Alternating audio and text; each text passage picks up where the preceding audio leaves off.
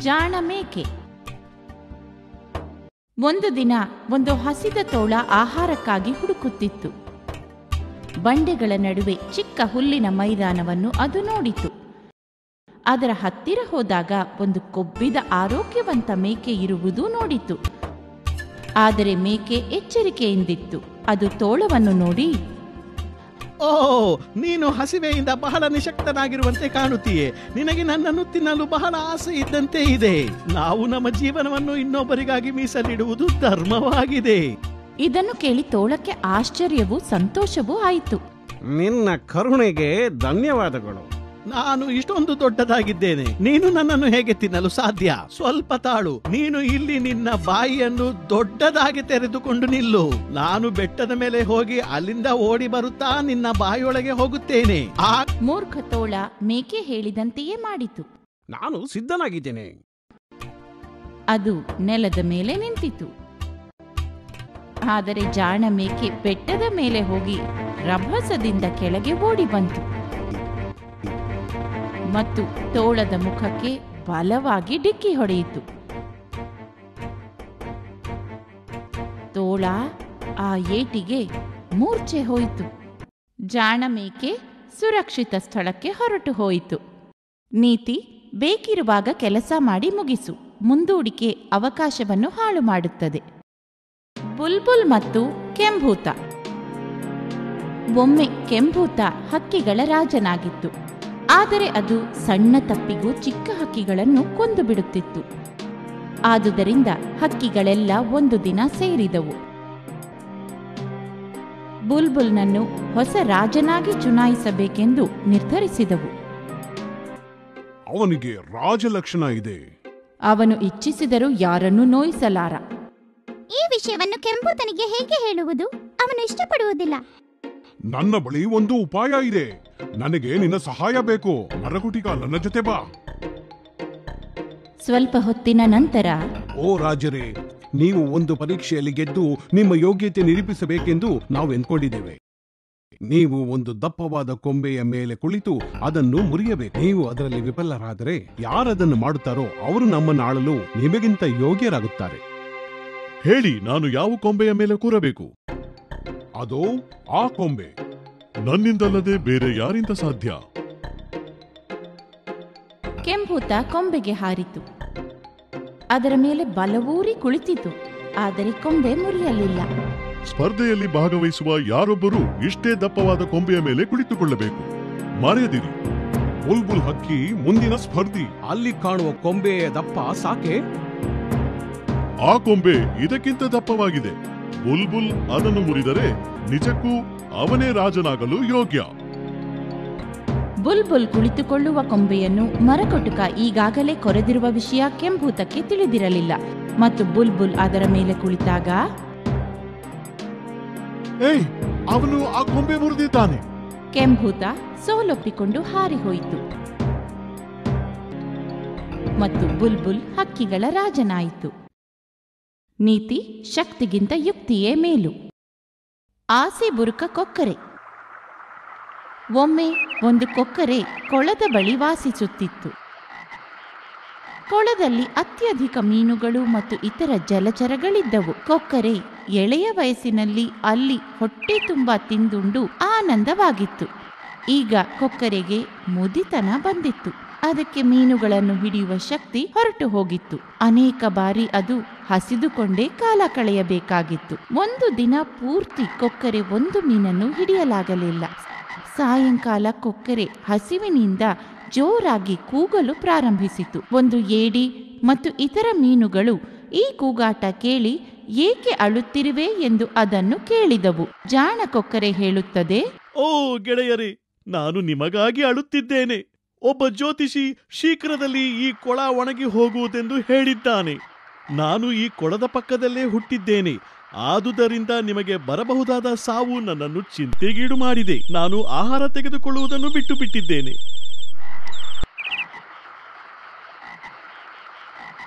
ಮುಗ್ಧ ಮೀನುಗಳು ಅದರ ಮಾತನ್ನು ನಂಬಿದವು ಮತ್ತು ಚಿಂತಾಕ್ರಾಂತ ಧ್ವನಿಯಲ್ಲಿ ಹೇಳಿದವು ಓ ಕೊಕ್ಕರೆ ನೀ ನಮ್ಮ ಪೈಕಿಯಲ್ಲೆಲ್ಲ ಅತಿ ವೃದ್ಧನು ಮತ್ತು ಅನುಭವಿಸ್ತನಾಗಿರುವೆ ದಯವಿಟ್ಟು ಈ ದುರಂತದಿಂದ ನಮ್ಮನ್ನು ಕಾಪಾಡು.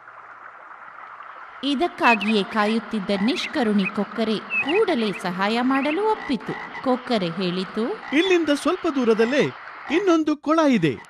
ನಾನು ನಿಮ್ಮನ್ನು ಒಬ್ಬೊಬ್ಬರನಾಗಿ ಈ ಕೊಳದಿಂದ ಕರೆದುಕೊಂಡು ಹೋಗಿ ಅಲ್ಲಿ ಸುರಕ್ಷಿತವಾಗಿ ಬಿಡಬಲ್ಲೆ. ಇದನ್ನು ಕೇಳಿ ಕೊಳದ ಮೀನುಗಳು ಮತ್ತು ಇತರ ಜಲಚರಗಳು ಸಂತೋಷಪಟ್ಟವು ಮತ್ತು ಕೊಕ್ಕರೆಯ ಈ ಕಾರುಣ್ಯಕ್ಕಾಗಿ ಧನ್ಯವಾದ ಹೇಳಿದವು. ಮತ್ತು ಇದರಿಂದ ಮುದಿ ಕೊಕ್ಕರೆಯ ಹಸಿವಿನ ಸಮಸ್ಯೆ ಬಗೆಹರಿಯಿತು. ಈ ಕಪ್ಪಟ ಕೊಕ್ಕರೆ ಅವುಗಳಿಗೆ ಸಹಾಯ ಮಾಡುವಂತೆ ನಟಿಸುತ್ತಾ ಒಂದೊಂದಾಗಿ ಅವುಗಳನ್ನು ಸಾಗಿಸಲು ಪ್ರಾರಂಭಿಸಿತು. ಆದರೆ ಈ ಮುದಿ ಕೊಕ್ಕರೆ ಸನ್ಯಾಸಿಯೇನೂ ಆಗಿರಲಿಲ್ಲ. ಇನ್ನೊಂದು ಕೊಳಕ್ಕೆ ಕರೆದುಕೊಂಡು ಹೋಗುವ ನೆಪದಲ್ಲಿ ಅವುಗಳನ್ನು ಕಾಡಿನ ಮಧ್ಯಕ್ಕೆ ಕರೆದುಕೊಂಡು ಹೋಗಿ ಒಂದು ದೊಡ್ಡ ಬಂಡೆಯ ಮೇಲೆ ಹಾಕುತ್ತಿತ್ತು ಮತ್ತು ಇಲ್ಲಿ ಅದನ್ನು ಸುಲಭವಾಗಿ ಕೊಂದು ತಿಂದು ತೇಗುತ್ತಿತ್ತು. ಈ ರೀತಿ ಅನೇಕ ದಿನಗಳು ಕಳೆದವು. ಪ್ರತಿನಿತ್ಯ ಬೇರೊಂದು ಕೊಳಕ್ಕೆ ಹೋಗಲು ಇಚ್ಛಿಸುವ ಪ್ರಾಣಿಗಳು ಕೊಕ್ಕರೆಯನ್ನು ಕೇಳಿಕೊಳ್ಳುತ್ತಿದ್ದವು. ಕೊಕ್ಕರೆ ಅವುಗಳನ್ನು ಕೂಡ ಎತ್ತಿಕೊಂಡು ಹೋಗಿ ಭರ್ಜರಿ ಊಟ ಮಾಡುತ್ತಿತ್ತು. ಒಂದು ದಿನ ಅದೇ ಕೊಳದಲ್ಲಿ ವಾಸಿಸುತ್ತಿದ್ದ ಒಂದು ಏಡಿ ಹೀಗೆ ಹೇಳಿತು. ಬಹಳ ದಿನಗಳಿಂದಲೂ ನಾನು ನಿನ್ನನ್ನು ಬೇರೆ ಕೊಳಕ್ಕೆ ಕರೆದುಕೊಂಡು ಹೋಗು ಎಂದು ಕೇಳುತ್ತಲೇ ಇದ್ದೇನೆ. ನೀನು ಇದುವರೆಗೆ ಮೀನುಗಳಿಗೆ ಮಾತ್ರವೇ ಸಹಾಯ ಮಾಡುತ್ತಿರುವಿ. ಈಗ ನನ್ನ ಸರದಿ. ನೀನು ನನ್ನನ್ನು ನಿನ್ನ ಬೆನ್ನ ಮೇಲೆ ಕೂರಿಸಿಕೊಂಡು ಆ ಇನ್ನೊಂದು ಕೊಳಕ್ಕೆ ಸಾಗಿಸು. ಕೊಕ್ಕರೆ ಏಡಿಯನ್ನು ಬೆನ್ನ ಮೇಲೆ ಕೂರಿಸಿಕೊಂಡು ಬಂಡೆಯ ಕಡೆ ಹಾರಿತು. ದಾರಿಯಲ್ಲಿ ಏಡಿ ಇತರ ಮೀನುಗಳ ಕುಶಲದ ಬಗ್ಗೆ ಕೇಳಿತು. ಏಡಿ ಅದರ ಬೆನ್ನ ಮೇಲೆ ಇದ್ದುದನ್ನು ಮತ್ತು ಅವರ ಕೊಳದಿಂದ ಬಹಳ ದೂರ ಬಂದಿರುವುದನ್ನು ಯೋಚಿಸಿ ನಿಜ ಹೇಳುವುದರಲ್ಲಿ ಅಪಾಯವೇ ಇಲ್ಲ ಎನ್ನುವ ತೀರ್ಮಾನಕ್ಕೆ ಕೊಕ್ಕರೆ ಬಂದಿತು. ಇಲ್ಲಿ ಯಾವ ಕೊಳವೂ ಇಲ್ಲ.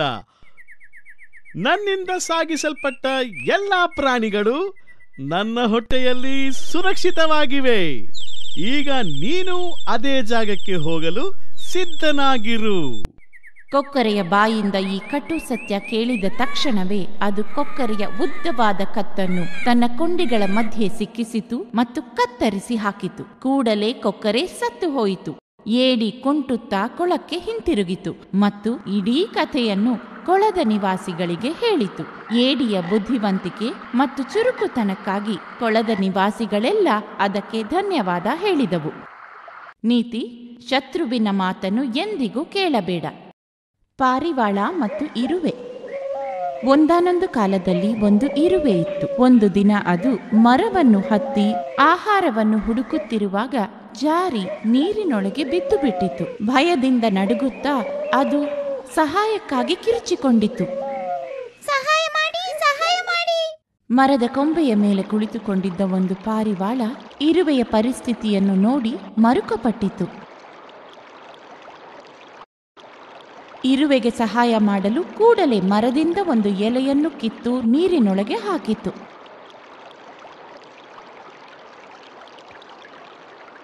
ಎಲೆಯನ್ನು ನೋಡಿದ ಇರುವೆ ಅದರ ಮೇಲೆ ಹತ್ತಿ ಕುಳಿತು ಕ್ಷೇಮವಾಗಿ ದಡ ಸೇರಿಕೊಂಡಿತು.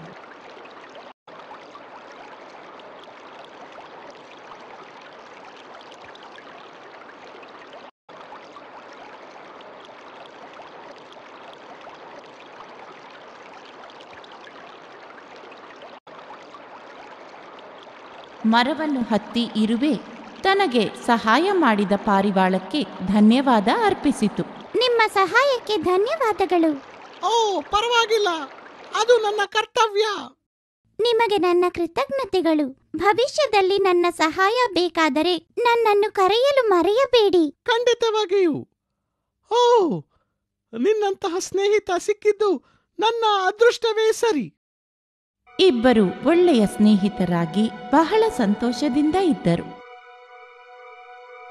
ಒಂದು ದಿನ ಆಹಾರವನ್ನು ಶೇಖರಿಸಿಕೊಂಡು ಇರುವೆ ಮನೆಗೆ ಹಿಂತಿರುಗುತ್ತಿರುವಾಗ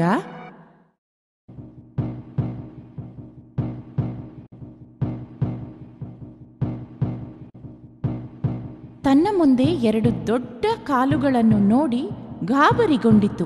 ತಲೆ ಎತ್ತಿ ನೋಡಿದಾಗ ಆ ಕಾಲುಗಳು ಕೈಯಲ್ಲಿ ಬಿಲ್ಲು ಬಾಣ ಹಿಡಿದಿದ್ದ ಒಬ್ಬ ಬೇಟೆಗಾರನದಾಗಿತ್ತು. ಇರುವೆ ಬೇಟೆಗಾರನ ಗುರಿಯ ದಿಕ್ಕಿನಲ್ಲಿ ನೋಡತೊಡಗಿತು ಅವನ ಗುರಿ ಬೇರಾರೂ ಅಲ್ಲ ತನ್ನ ಸ್ನೇಹಿತ ಪಾರಿವಾಳ ಎಂಬುದನ್ನು ಕೂಡಲೇ ಅರಿತುಕೊಂಡಿತು ಪಾರಿವಾಳವನ್ನು ಕಾಪಾಡಲು ಕೂಡಲೇ ಇರುವೆಗೆ ಒಂದು ಉಪಾಯ ಹೊಳೆಯಿತು ಒಂದು ಕ್ಷಣವೂ ವ್ಯರ್ಥ ಮಾಡದೆ ಬೇಟೆಗಾರನ ಕಾಲನ್ನು ಜೋರಾಗಿ ಬೇಟೆಗಾರನು ನೋವಿನಿಂದ ಕಿರುಚತೊಡಗಿದನು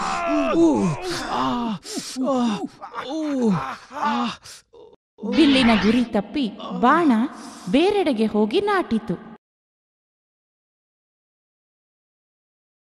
ಪಾರಿವಾಳ ರಕ್ಷಿಸಲ್ಪಟ್ಟಿತು. ಆನಂದದಿಂದ ಹಾರಿಹೋಯಿತು. ತನ್ನನ್ನು ರಕ್ಷಿಸಿದ ಇರುವೆಗೆ ಧನ್ಯವಾದ ಅರ್ಪಿಸಲು ಬಂದಿತು. ಬಹಳ ಧನ್ಯವಾದಗಳು ಗೆಳೆಯ. ಅದು ನನ್ನ ಕರ್ತವ್ಯ ಸ್ನೇಹಿತ. ಕ್ಷಮಿಸು ಮೊದಲು ನನಗೆ ತಿಳಿಯಲಿಲ್ಲ ಇಷ್ಟು ಸಣ್ಣ ಪ್ರಾಣಿಯಾದ ನೀನು ಹೇಗೆ ಸಹಾಯ ಮಾಡಬಲ್ಲೆ ಎಂದು. ಆದರೆ ನನ್ನ ಅನಿಸಿಕೆ ತಪ್ಪಾಯಿತು. ನಿನಗೆ ಮತ್ತೆ ನನ್ನ ಧನ್ಯವಾದಗಳು. ಇದರಿಂದ ಅವರಿಬ್ಬರ ಸ್ನೇಹ ಇನ್ನೂ ನಿಕಟಗೊಂಡಿತು, ಎಂದೆಂದಿಗೂ ಸ್ನೇಹಿತರಾಗಿ ಆನಂದದಿಂದ ಇದ್ದರು. ನೀತಿ, ಆಪತ್ತಿನಲ್ಲಿ ಸಹಕರಿಸುವವನೇ ನಿಜವಾದ ಸ್ನೇಹಿತ.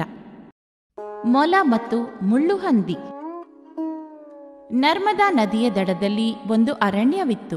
ಅಲ್ಲಿ ವಾಸಿಸುತ್ತಿದ್ದ ಪ್ರಾಣಿಗಳು ಯಾವಾಗಲೂ ಪರಸ್ಪರ ಜಗಳವಾಡುತ್ತಿದ್ದವು. ವಿವಾದಗಳನ್ನು ಬಗೆಹರಿಸಲು ರಾಜನಿಲ್ಲದ ಕಾರಣ ನಾವು ಜಗಳವಾಡುದು. ಹೌದು ನಮಗೆ ಒಬ್ಬ ರಾಜ ಬೇಕು.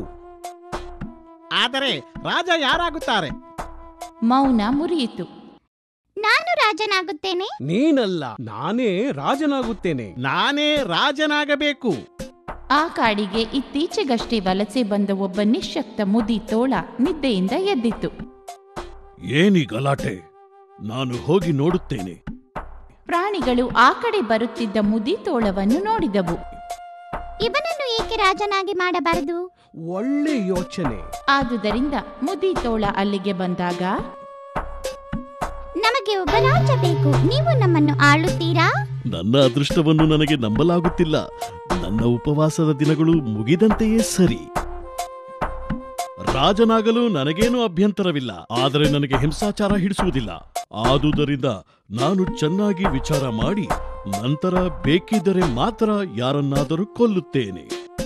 ಪ್ರಾಣಿಗಳಿಗೆ ಸಂತೋಷವಾಯಿತು.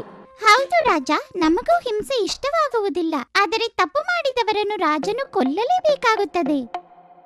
ಮರುದಿನವೇ ಮೊಲ ಮತ್ತು ಮುಳ್ಳು ಹಂದಿಗಳ ಮಧ್ಯೆ ದೊಡ್ಡ ಜಗಳವಾಯಿತು. ಈ ಬಿಲ ನನ್ನದು. ಇಲ್ಲ ಅದು ನನ್ನದು. ನಾನೇ ಮೊದಲು ಇದನ್ನು ಹುಡುಕಿದೆ. ನೀನು ಹುಡುಕಿದೆ ಆದರೆ ಇದನ್ನು ತೋಡಿದ್ದು ನನ್ನ ತಂದೆ. ಆದರೆ ನಿಮ್ಮ ತಂದೆ ಅದು ಖಾಲಿ ಬಿಟ್ಟು ಬಿಟ್ಟರು. ನಾನು ಇಲ್ಲಿಗೆ ವಾಸಕ್ಕೆ ಬಂದೆ. ಆದುದರಿಂದ ಇದು ನನ್ನದೇ. ಮೊಲ ಸ್ವಲ್ಪ ಹೊತ್ತು ಮೌನ ತಾಳಿತು. ನಂತರ ಅದಕ್ಕೆ ಒಂದು ಯೋಚನೆ ಹೊಳೆಯಿತು. ನಾವು ನಮ್ಮ ರಾಜನ ಬಳಿ ಹೋಗೋಣ. ಈ ಬಿಲ ಯಾರಿಗೆ ಸೇರಿದ್ದೆಂದು ನ್ಯಾಯ ಕೇಳೋಣ. ನೀನು ಹೇಳಿದ್ದು ಸರಿನೆ. ನಾವು ಅವನ ಬಳಿಗೆ ಹೋಗೋಣ. ಅವರು ತೋಳದ ಬಳಿಗೆ ಹೋದರು.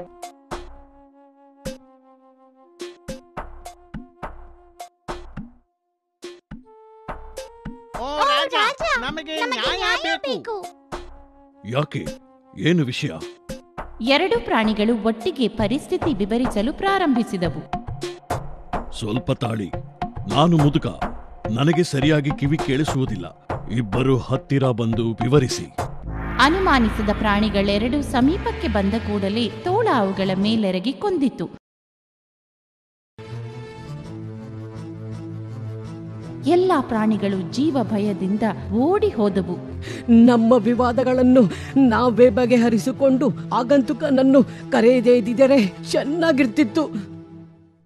ನೀತಿ ನಿಮ್ಮ ಸಮಸ್ಯೆಗಳನ್ನು ನಿಮ್ಮ ನಿಮ್ಮಲ್ಲೇ ಪರಿಹರಿಸಿಕೊಳ್ಳಬೇಕು. ಹುಲಿ ಮತ್ತು ಮರಕುಟುಕ ಹಕ್ಕಿ.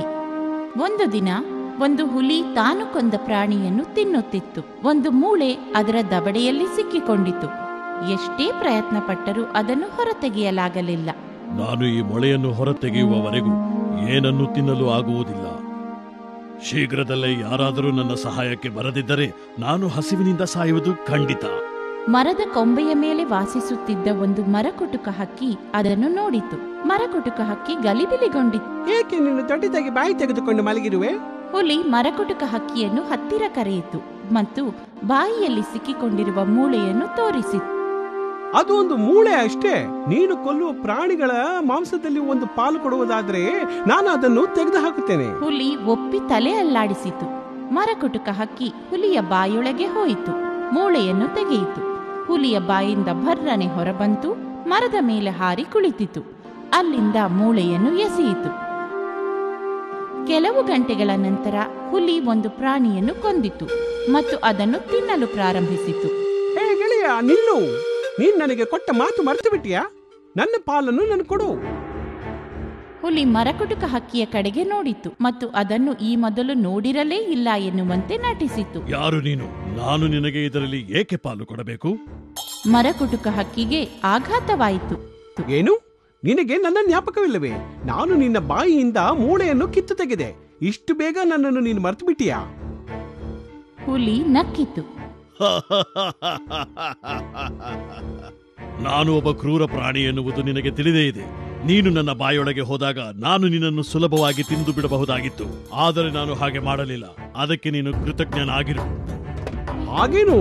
ನಾನು ಬಲಹೀನನಾಗಿರುವುದರಿಂದ ಮರಕುಟುಕ ಹಕ್ಕಿ ಹುಲಿ ನಿದ್ದೆ ಹೋಗುವ ತನಕ ತಾಳ್ಮೆಯಿಂದ ಕಾಯುತ್ತಿತ್ತು.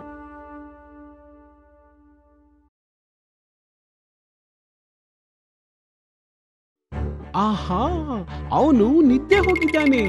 ಮರಕುಟುಕ ಹಕ್ಕಿ ಹುಲಿಯ ಮೇಲೆ ಹಾರಿತು ಮತ್ತು ತನ್ನ ಕೊಕ್ಕಿನಿಂದ ಅದರ ಒಂದು ಕಣ್ಣನ್ನು ಕುಕ್ಕಿ ಕುರುಡು ಮಾಡಿಬಿಟ್ಟಿತು. ಹುಲಿ ನೋವಿನಿಂದ ಗರ್ಜಿಸಿತು. ಆ ನೀನು ನನ್ನ ಕಣ್ಣನ್ನು ಕುಕ್ಕಿಬಿಟ್ಟೆ ನೀನು ಇಷ್ಟು ಕ್ರೂರಿ ಹೇಗಾದೆ? ನನಗೆ ಚೂಪಾದ ಕೊಕ್ಕಿರುವುದು ನಿನಗೆ ತಿಳಿದೇ ಇದೆ. ನಾನು ನಿನ್ನ ಎರಡು ಕಣ್ಣುಗಳನ್ನು ಕುರುಡು ಮಾಡಿರಬಹುದಾಗಿತ್ತು. ಆದ್ರೆ ಹಾಗೆ ಮಾಡಲಿಲ್ಲ. ನೀನು ಅದಕ್ಕೆ ಕೃತಜ್ಞನಾಗಿರು ಮತ್ತು ಗರ್ಜನೆ ಮಾಡುವುದನ್ನು ನಿಲ್ಲಿಸು. ನೀತಿ ಯಾರನ್ನು ವಂಚಿಸಲು ಯತ್ನಿಸಬೇಡ. ಗಿಣಿಗಳು. ಆಗಾಗ್ಗೆ ಬೇಟೆಗಾರರ ಹಾವಳಿಯಿಂದ ಕಷ್ಟಕ್ಕೀಡಾಗುತ್ತಿದ್ದ ಒಂದು ಗಿಣಿಗಳ ಗುಂಪು ತಾವು ಗೂಡು ಕಟ್ಟಿದ್ದ ದೊಡ್ಡ ಆಲದ ಮರವನ್ನು ಬಿಟ್ಟು ಹೋಗಬೇಕಾಗಿ ಬಂತು. ಅವು ಬೇಟೆಗಾರರು ಹತ್ತಲು ಆಗದಂತಹ ಎತ್ತರವಾದ ಈಚಲ ಮರಕ್ಕೆ ವಲಸೆ ಹೋಗಲು ನಿರ್ಧರಿಸಿದವು. ಗುಂಪಿನ ಮುಖಂಡ ಈಚಲ ಮರವನ್ನು ಗೂಡುಗಳನ್ನು ಕಟ್ಟುವುದಕ್ಕೆ ಮುಂಚೆ ಪರಿಶೀಲಿಸಿದನು. ಈಚಲ ಮರದ ಎಲೆಗಳ ನೆರಳು ಅವುಗಳಿಗೆ ಸಾಕಷ್ಟು ಇದೆ ಎನ್ನುವುದು ಅವನಿಗೆ ತಿಳಿಯಿತು. ನಂತರ ಮುಖಂಡನು ಇತರರನ್ನು ಕರೆದು ಅಲ್ಲಿ ಗೂಡುಗಳನ್ನು ಕಟ್ಟುವ ಕೆಲಸ ಪ್ರಾರಂಭಿಸಲು ಹೇಳಿದನು. ಹೊಸ ಜಾಗಕ್ಕೆ ಹೋಗುವುದಕ್ಕಾಗಿ ಎಲ್ಲ ಗಿಣಿಗಳು ಸಂತೋಷದಿಂದಿದ್ದವು. ಹೊಸ ಮನೆಗೆ ಹೋಗಲು ಅವೆಲ್ಲ ಕಾತರವಾಗಿದ್ದವು. ಆದರೆ ಮುಖಂಡನು ಜಾಗರೂಕನಾಗಿದ್ದ ಮತ್ತು ಹೊಸ ಜಾಗದ ಸುರಕ್ಷತೆ ಚೆನ್ನಾಗಿ ಪರಿಶೀಲಿಸಿದ. ಎತ್ತರವಾದ ಈಚಲ ಮರದ ಹತ್ತಿರ ಒಂದು ಬಳ್ಳಿ ಹಬ್ಬಿರುವುದನ್ನು ನೋಡಿದ. ಇತರ ಗಿಣಿಗಳನ್ನು ಮುಖಂಡ ಕರೆದ. ಕೆಳಗೆ ಬನ್ನಿ. ಒಂದು ಸಣ್ಣ ಬಳ್ಳಿ ಈ ಮರದ ಹತ್ತಿರ ಬೆಳೆದಿದೆ. ನಾವು ಅದನ್ನು ತೆಗೆಯಬೇಕು. ಇತರ ಗಿಣಿಗಳು ಗೂಡುಗಳಿಂದ ಇಣುಕಿ ನೋಡಿದವು. ಮತ್ತು ನೆಲದ ಮೇಲೆ ಸಣ್ಣ ಬಳ್ಳಿಯನ್ನು ನೋಡಿ ನಕ್ಕು ಓ ಸ್ವಾಮಿ ಈ ಸಣ್ಣ ಬಳ್ಳಿಯಿಂದ ಅಪಾಯವಿದೆ ಎಂದು ನಿಮಗೆ ಅನ್ನಿಸುತ್ತಿದೆ ನಿಮಗೆ ಬಿಡಿ ಯಾವಾಗಲೂ ಚಿಂತೆಯೇ. ಮುಖಂಡ ಬಳ್ಳಿಯನ್ನು ತೆಗೆಯಬೇಕಾದ ಅವಶ್ಯಕತೆಯನ್ನು ವಿವರಿಸಲು ಯತ್ನಿಸಿದ. ಎಂದು ಈ ಸಣ್ಣ ಬಳ್ಳಿ ಎಳೆಯದಾಗಿದೆ ಮತ್ತು ನಾವು ಅದನ್ನು ಸುಲಭವಾಗಿ ತೆಗೆಯಬಹುದು. ಇಂದಿನ ಈ ಎಳೆಯ ಬಳ್ಳಿಯನ್ನು ನಾವು ತೆಗೆಯದಿದ್ದರೆ ಸ್ವಲ್ಪ ಕಾಲದಲ್ಲಿ ಅದು ಹಗ್ಗದ ರೀತಿಯಲ್ಲಿ ದಪ್ಪವಾಗಿ ಬೆಳೆದು ಬಿಡುತ್ತದೆ. ಈ ಎಳೆಯ ಬಳ್ಳಿಯನ್ನು ನಾವು ತೆಗೆಯದಿದ್ದರೆ ಅದು ಬೇಟೆಗಾರರಿಗೆ ಗೂಡು ತಲುಪಲು ಸಹಾಯ ಮಾಡುತ್ತದೆ. ನಂತರ ಅದು ದುರಂತದಲ್ಲಿ ಕೊನೆಗೊಳ್ಳುತ್ತದೆ. ತಮ್ಮ ಸಂತೋಷಕ್ಕೆ ಚ್ಯುತಿ ಬರುವುದರಿಂದ ಗಿಣಿಗಳು ಕೆಳಗೆ ಬರಲು ಇಷ್ಟಪಡಲಿಲ್ಲ. ಏನಾದರೂ ಕುಂಟು ನೆಪ ಹೇಳುತ್ತಿದ್ದವು ಮತ್ತು ಕೆಲಸವನ್ನು ನಾಳೆ ಮಾಡುತ್ತೇವೆಂದು ಹೇಳುತ್ತಿದ್ದವು. ಗಿಣಿಗಳ ಈ ಅಸಡ್ಡೆ ಬಳ್ಳಿಯನ್ನು ಬೆಳೆಯಲು ಬಿಟ್ಟಿತು. ಕೆಲ ಕಾಲದ ನಂತರ ಗಿಣಿಗಳು ಅದನ್ನು ತೆಗೆಯಲು ಪ್ರಯತ್ನಿಸಿದವು, ಆದರೆ ಅದು ಸಾಧ್ಯವಾಗಲಿಲ್ಲ. ಕೆಲ ಸಮಯದಲ್ಲಿ ಬಳ್ಳಿ ದೊಡ್ಡದಾಗಿ ಬೆಳೆಯಿತು. ಅಲ್ಲಿಗೆ ಒಬ್ಬ ಬೇಟೆಗಾರ ಬಂದ. ಅವನು ಈಚಲ ಮರದ ಸುತ್ತ ಸುತ್ತಿಕೊಂಡ ದಪ್ಪವಾದ ಬಳ್ಳಿಯನ್ನು ನೋಡಿದ. ಬಳ್ಳಿಯ ಸಹಾಯದಿಂದ ಮರವನ್ನು ಸುಲಭವಾಗಿ ಹತ್ತಬಹುದೆನ್ನುವುದನ್ನು ಕಂಡುಕೊಂಡ. ಅವನು ಗೂಡುಗಳವರೆಗೆ ಮರ ಹತ್ತಿದ ಮತ್ತು ಗಿಣಿಗಳು ನೋಡುತ್ತಿರುವಂತೆಯೇ ಅವುಗಳ ಮರಿಗಳನ್ನು ಎತ್ತಿಕೊಂಡು ಹೋದ. ಗಿಣಿಗಳು ಅಸಹಾಯಕವಾಗಿ ಕುಳಿತು ನೋಡಬೇಕಾಯಿತು. ನಂತರ ಅವು ಈಚಲ ಮರವನ್ನು ಬಿಟ್ಟು ಹೋದವು. ಮುಖಂಡನ ಮಾತನ್ನು ಕಡೆಗಣಿಸಿದ್ದಕ್ಕೆ ಗಿಣಿಗಳು ಪಶ್ಚಾತ್ತಾಪ ಪಟ್ಟವು. ನೀತಿ, ಯಾವುದನ್ನು ಅಮುಖ್ಯವೆಂದು ಉಪೇಕ್ಷೆ ಮಾಡಬಾರದು.